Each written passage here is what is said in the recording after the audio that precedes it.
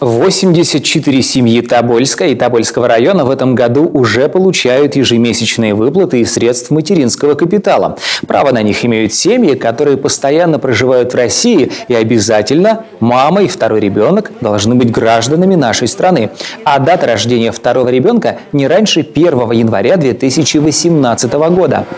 Размер дохода в семье не, не должен превышать двукратную величину прожиточного минимума в Тюменской области. На 2021 год она составляет 24 тысячи 392 рубля. Размер ежемесячной выплаты средств материнского капитала на сегодняшний день 11 тысяч 956 рублей.